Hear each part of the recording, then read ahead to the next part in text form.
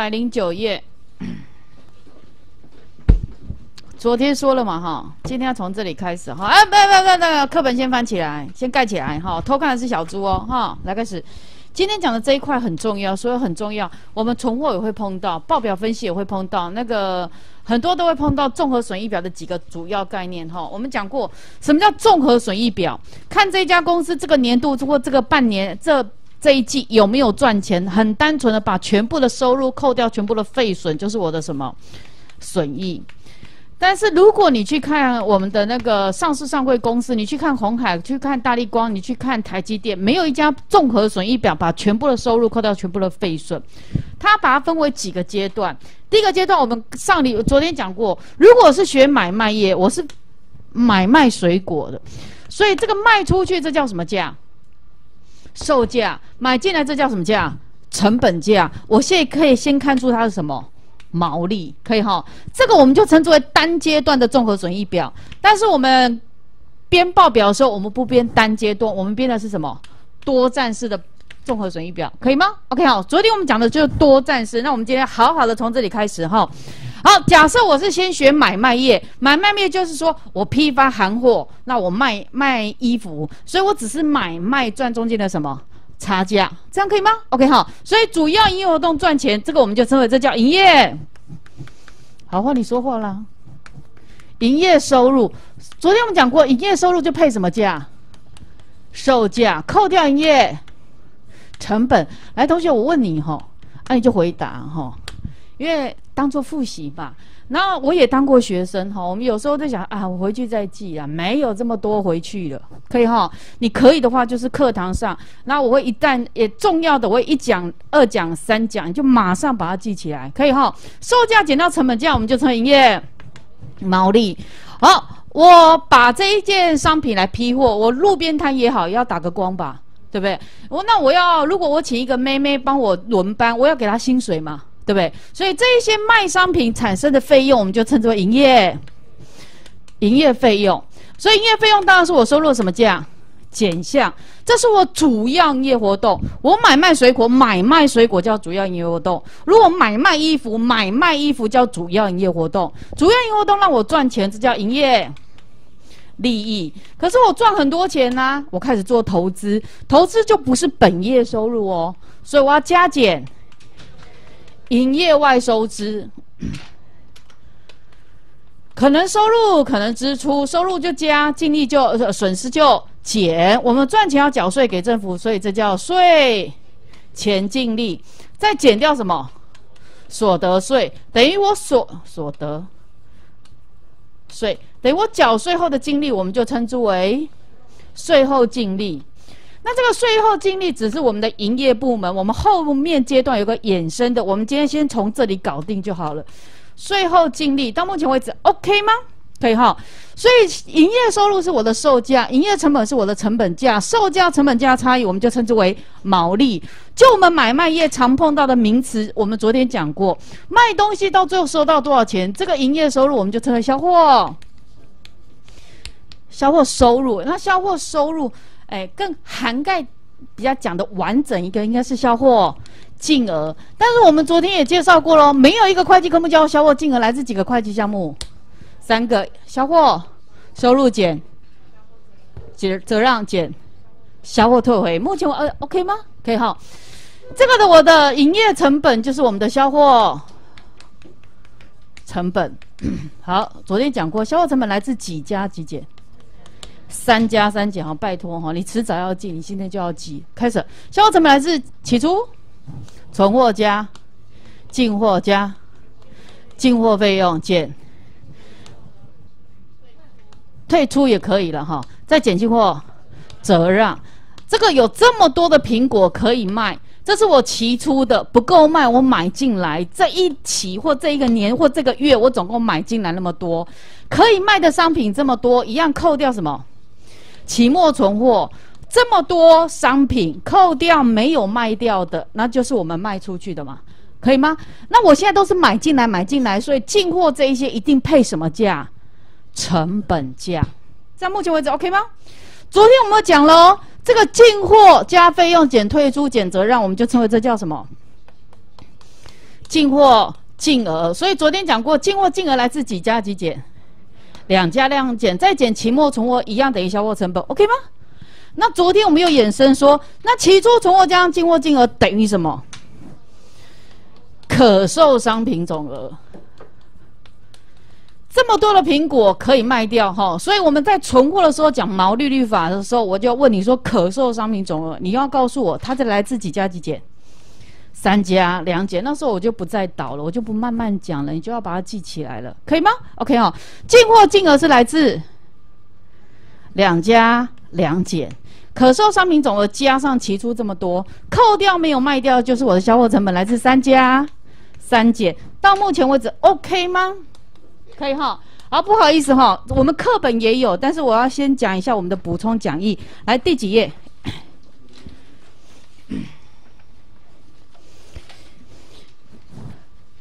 我们我们有补充讲义，有几号不能后？几号是哈？就是你考试总复习的时候哈，通常哈，你一你要考银行一年可以考几家？可以要考几次？你要考十几次，对不对？所以你当你考第一次的时候，你就拿这个来 K，考题考出来你不会，你就开始补充，可以吗？考第二家再补充，第三家再补充，你总会考上的，可以吗？OK 哦。但是有一个不好的事，就是上课的时候要翻来翻去。可以哈，好，来开始，亲爱的同学，请你帮我翻开我们的补充讲义的第三页哈。财务报表，我们昨天讲过，总共几张？四张，来自几进几动。所谓的进是一个时间点哈，所以你帮我写个一进三动。唯一的静态报表只有我们的资产负债表。所谓的静态报表是十二月三十一号那一天，我要看我有多少钱，这些有钱是多少是欠的来的，有多少是股东权益，可以吗？所谓的动态报表是一段期间。昨天我们讲说历年制是几月几号到几月几号？一月一号到十二月三，所以现金流量表是段一段期间，权益变动表是一段期间，综合损益表是一段期间的金额累积，可以哈。所以主要报表一进三动。来，我们今天看的是第一章我们的综合损益表，只有看 R 一哦，OK 吧？那下面有比例，我们先跳哈，来开始主架构就黑板上的一模一样，可以吗？可以哈，来看一下右手边哦，讲义的公式打给你了，销货金额来自收入减退回减折让，对吧？那昨天不是有写了吗？所以销货成本旁边写上几加几减，三加三减进货金额，两加两减可售商品总额，三加两减，好再减掉期末存货，昨天是不是写到这里？可以哈，好，下面有一个可售商品总额，帮我画荧光笔记重点。可售商品总额来自几加几减？三加两减，对不对？可是我要再请你告诉我，等于可售商品总额哈，等于期初存货加进货净额，所以这叫等于哈。所以我我已经打了可售商品总额，对不对？等于期初存货加上进货净额，我打给你了，对不对？请你旁边刮胡，这叫来源。这些苹果可以卖的苹果从哪里来？上个年度剩下是我本年度的期初，再加上我买进来，所以叫可售商品总额，对不对？那也等于什么？哦，这个就要你填了。这来来源，啊，我年底就叫什么？去处。这么多的可售商品总额，年底不是卖掉就是没有卖掉，所以它等于谁加谁？这就数学公式哦，哈。期初存货加上进货减减到期末总额等于销货成本，啊，这个可售商品总额，啊，这等于销货成本呢？所以可售商品总额又等于什么？再讲一次哦，你有这么多苹果，期初存货加上进货这么多，年底不是卖掉就是怎样？剩下跟你的零用钱一样，跟你的月初的你的。资产，你这个月赚钱赚了那么多，所以你总资产那么多，你不是花掉就是把它怎样存起来？所以帮我补充，所以可售商品总总额等于什么？期末存货加，哎要思考一下，我已经讲的很明显的啦，哎。你是还没睡饱哦，还是今天下午太嗨了，还是早上玩太多了？期初存货加上进货金额减期末存货等于销货成本，所以可售商品总额也等于销货成本加期末存货，可以哈？同学到最后这一段比较熟，但是考试的时候会反考，告诉你期末存货你就加销货成本，就是可售商品总额，这样可以吗？可以吗？好，我的期初存货我简称叫一月一号，期末存货简称叫十二月三十号，所以也等于期末存货加上销货成本。这么多的商品，你到了月底的时候，到了年底的时候，不是卖掉就是没有卖掉，所以这叫来源啊，这叫什么？去处有听懂吗？所以可售商品总额，同学这个三加，通常我们讲的三加两减是指这个公式哈，但是也等于期末存货加销货成本，这个同学比较容易不小心忽略。目前为止可以吗？可以哈。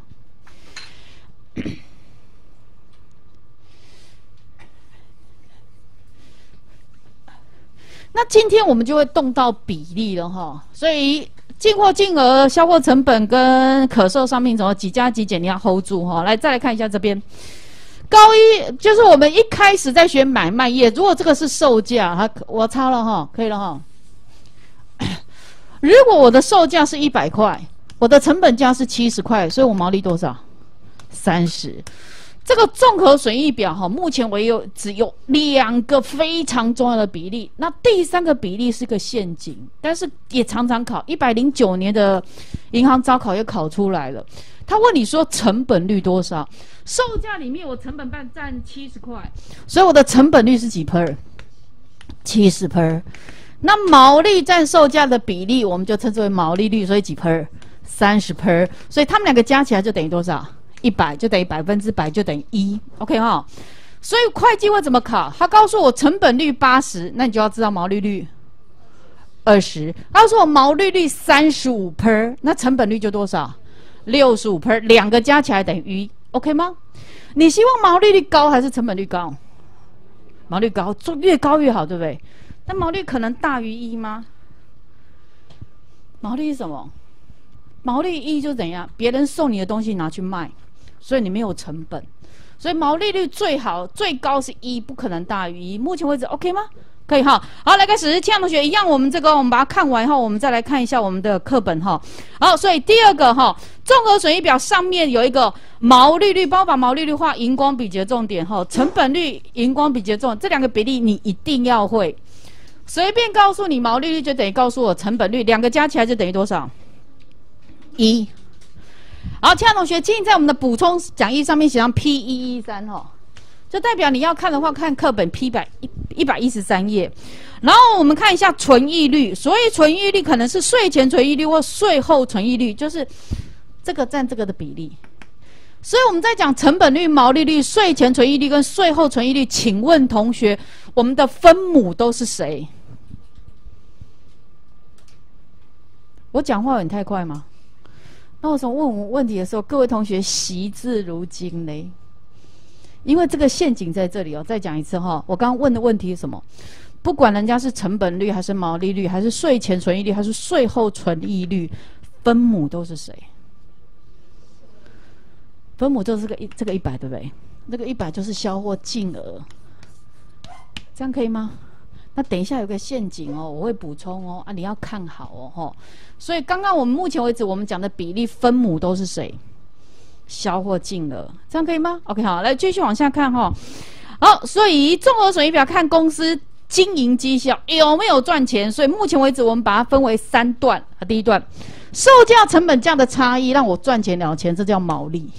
如果你这一块就毛损，那你就不用玩了。可以哈，第二段是主要营业活动让我赚钱了钱，最后一段是我们公司最后是赚钱了钱，所以我们把它综合损益表分为几段，一二三三段，这个我们就称为多战式，可以吗？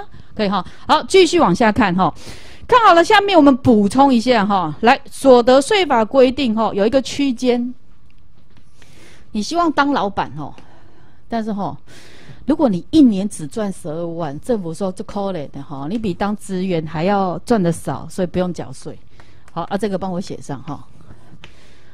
那所得税法现在开始单一税率，只要五十万以上都是单一税率，可以哈。所以五十万以上都是单一税率，我要把税前净利乘上十七 per，以前是啊，对对不起哈，以前是二十 per，现在把它改成调高了，对不起，我记错哈，调高了把它变成二十 per。那中间这一阶段有一个过渡期，因为以前是十七，啊，调成一口气调二十，然后那些大老板会，因为你赚一百块里面要多拿三块出去给政府嘛，哈，所以它有一个阶段性啊，阶段性我打给你，啊，你稍微看一下啊，从一百零九年开始，我们就都是二十 per 的。所得税，懂意思吗？就你赚多少是乘百分之二十缴税给政府，安利赛不？可以哈。好不好意思哈，有一个地方哈不能不能盖，因为等一下你又翻来翻去，我实在觉得很抱歉。但是打字给你还是比较方便哈。好，讲义。好，那你就翻这一页好了哈啊！我等一下告诉你讲义第几页，不然哦，我只是跟你讲说哦，你不要抄，但这一块也很重要哈，常常考哦哈，一一样是他地基，所以我要跟他一起讲。那讲完补充之后，我再带你看课本。昨天有一个地方被我跳过了，什么起运点交货、目的地交货、存货也很重要哈。看得出来我在画什么吗？谢谢，猜得出来台湾。嗯，是哦，大陆在对左边哦，哈，在右边。二十号，一月二十号是一个很重要的日子，对，川普要下来啊，不，要卸任，不是要下来哈。这是台湾，那我们出口到美国，所以假装我是卖方，啊，他是什么方？买方。亲爱的同学啊，中间经过什么？太平洋嘛，对不对？运费谁付？所以这里有没有国贸系的？我们上课里面学校运费哦，那谁付？我要谈条件哦。就像我们去跟某某买东西，然后就像我们跟虾皮买东西，跟我们跟博客来买东西，博客来现在多少以下免运费？啊，不知道啊，虾皮嘞？骗人！你不知道？你们不会网购吗？现在网购虾皮不是说几块钱以下不用免，就是免运费吗？啊？九十九，可是我就要骗人呢。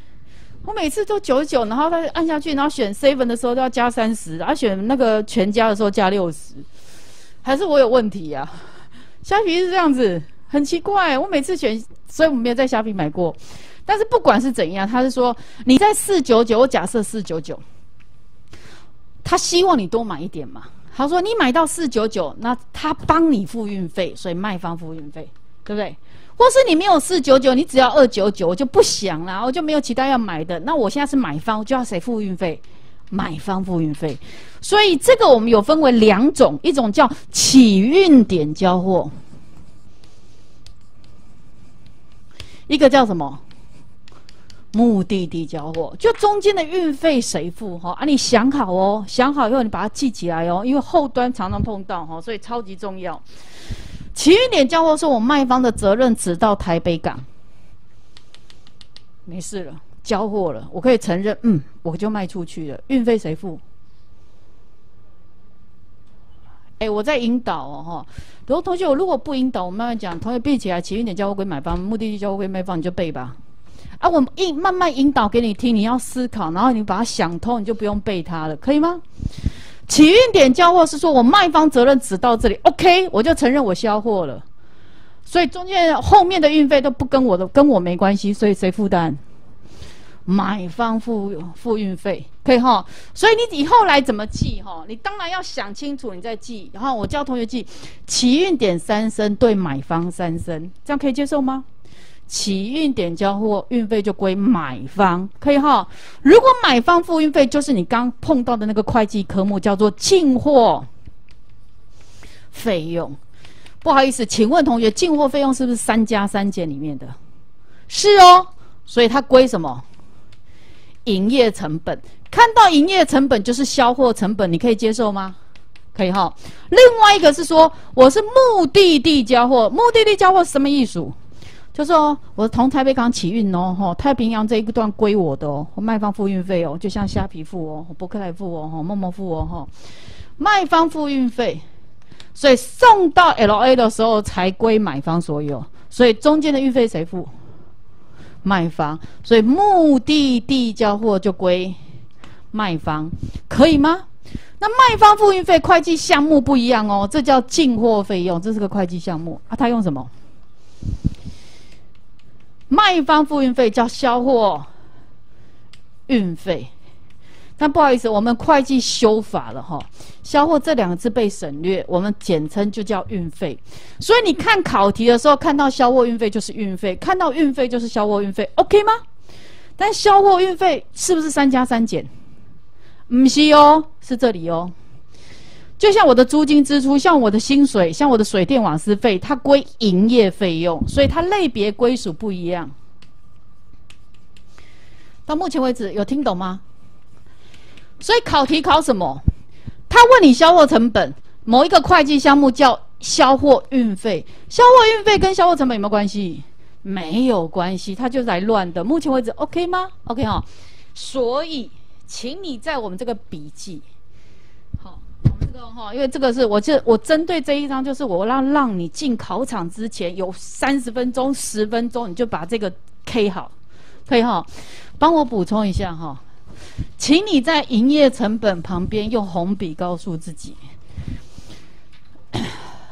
这个是属于我的进货啊。这个你不用抄，因为课本有哈啊。等一下我们也会再填一次，我们的表讲义也有哈。进货费用，请你在营业费用旁边告诉自己，这里是我的销货，销货什么？运费。所以你看到运费是指卖方付运费，看到进货费用才是指买方付运费，这样有听懂吗？OK 哦，所以这两个会计常常拿出来混淆哦。他问你卖方付运费，这个是目的地交货归卖方，他问你销货成本，所以他就是来乱的。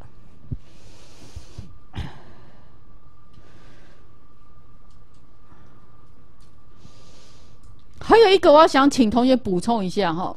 跟银行借钱要不要给利息？要，利息费用算不算营业费用？利息费用比较特别哈，你常碰到的费用，租金支出、水电瓦斯费、交际费、职工福利，几乎都是营业费用。但是有一个常常碰到，它是营业外，所以在营业外支出帮我补一个利息费用。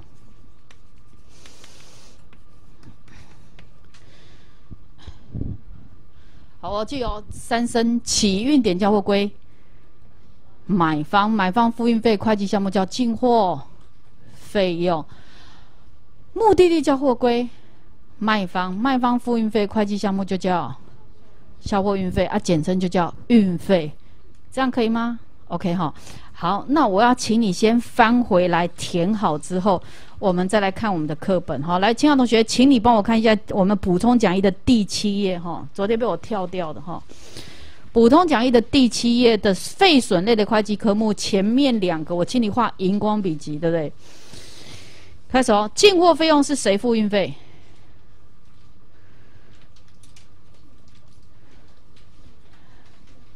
进货费用会出现进货费用，是指你是买方还是卖方？买方，哈，好，买方归营业成本，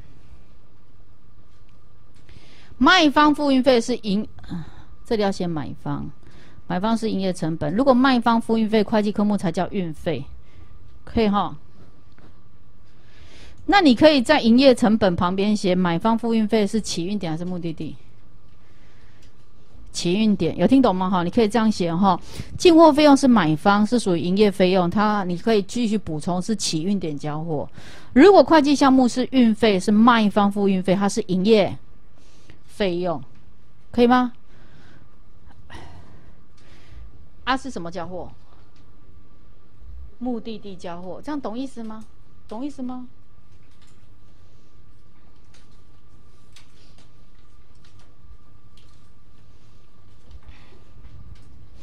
之后在存货的时候，我们还会再讲，然后那边还有另外一个更延伸的，那我们还是会再补充哈。所以今天先给你两个，来，强同学进帮帮为我们课本，我们开始来。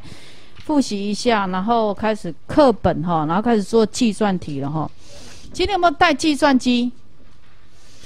没带。下礼拜请你准备好。嗯，来开始一百一十二页哈，来开始。这个起运点、目的地碰到存货的判断的时候也是非常重要。一百一十二页开始了哈，来开始起运点交货荧光笔记的重点，来来来来来来，有没有大标题？起运点交货荧光笔记的重点，看第二行，有什么负担？买方讲话，要不然你又想睡觉了。买方复印单会计科目叫进货，运费就是进货费用，是属于进货加项。进货加项旁边刮弧成本，就是我的营业成本吼。起运点交货归买方，买方付因为进货费用。如果一讲到这样，你耳朵没有长茧，没把它记起来，那就是你要负责任。第二个，目的地交货画荧光笔记的重点，第二行有谁？卖方，卖方的卖荧光笔记的重点，卖方付运费，会计科目叫进货运费或是运费是属于营业费用，OK 吗？可以哈，来，这样同学可以看一下一百一十三页。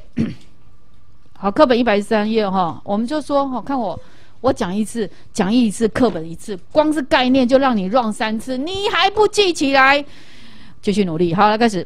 第一个，毛利率是销货毛利除以销货金额，OK 吗？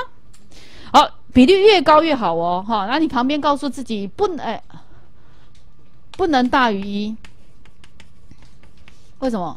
毛利最越高越好，不能大于最好就是你别人送你拿去把它卖掉，你这毛利率百分之百，因为你没有成本嘛哈。好，成本率是销货成本除以销货金额，OK 吗？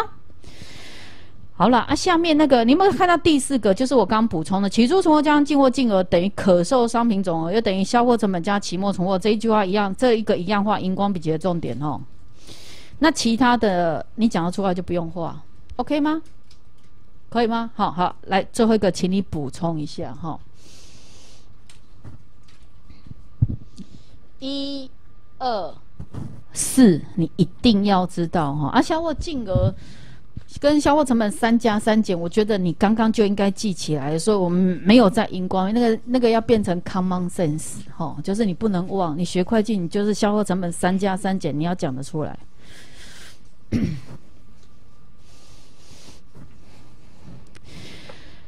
好，亲爱的同学哈，请你得用这个写上照抄哈，然后等一下我再引导，这样比较省时间哈。写在最这一页的最下面。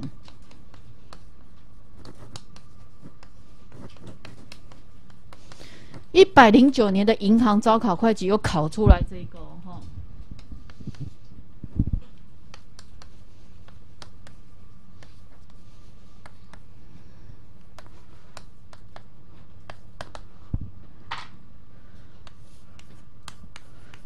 超重要的哦，就是会计人公开的陷阱。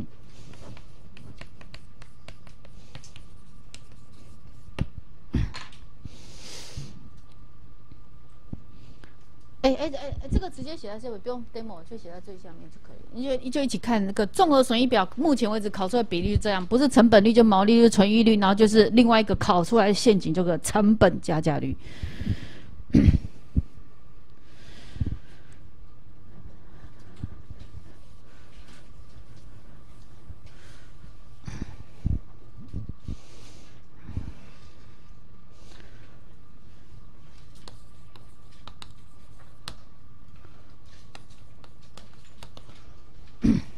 好了吗？好了哈，好来开始哦。好，开始可以了吗？好，如果还没好就停笔先听，然后还没写好笔记，下课再借一下隔壁同学。所以要跟隔壁同学打好关系哈。如果你常常迟到，记得下个礼拜要带一杯饮料给隔壁，好，他讲义才会借你抄。真的啊，这不就是吗？就这样子嘛哈。来开始，因为你常常跟他借讲义，你总要回馈人家一下哈。来开始，亲爱的同学，我们看一下，如果说我的售价是五万。题目告诉我的毛利率是三十五 per，那换句话说，按你毛利怎么算？就它乘以它等于它嘛，这样 OK 吗？所以有两种哦吼，一种问你毛利率，你就把它除以它；那一种已经告诉我毛利率，问你毛利，啊就是它乘以它，OK 吧？这数学 OK 吧？OK 啊。那我们刚刚在讲，不管毛利是成本率，我们都拿谁当分母？销货净额，就拿这个当分母。我拿我的营业收入，就是我的销货净额当分母，这个概念你可以接受吗？OK 哦。那如果我们通常买卖业，什么是成本加价率？成本加价率的意思说，哈，如果这里成本呢是一百，那我毛利我想要赚二十五颗，那我就把它乘上一点二五倍，当做我的售价，懂意思吗？这叫成本加价。不管我成本是一百还是